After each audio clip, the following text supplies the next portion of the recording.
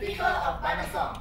Pledge ourselves as one united Banyans, regardless of Siumai, Hakau, Chashabao, based on justice and Banology, to glorify the Buns that we can make and have all the Buns that we can ever desire.